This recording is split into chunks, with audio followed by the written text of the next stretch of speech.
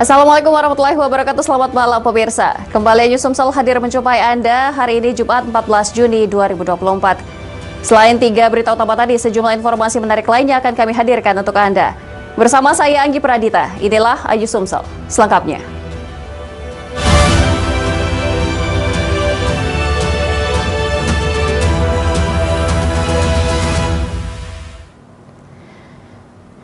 Kita awali informasi pertama hari ini pemirsa, jelang Idul Adha harga daging sapi di Ogan Ilir mencapai Rp150.000 per kilogram.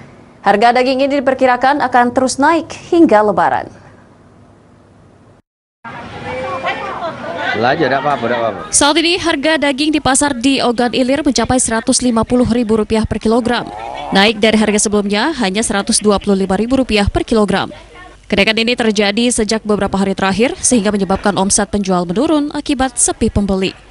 Pembeli kini mengurangi jumlah pembelian, jika biasanya membeli satu kilogram, kini hanya membeli setengah kilogram saja, bahkan hanya seperempat kilogram.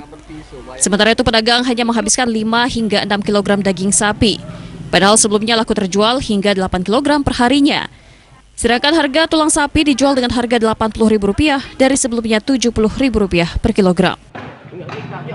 Dari dua hari nggak lebaran barang Kenapa tuh Pak? Memang biasa kayak itu. Permintaan banyak atau gimana? Yo permintaan tadi kan lumayan naik. Hmm. Uh, kan kemarin ada sempat ter kerbau kena penyakit di OI sama di OKI.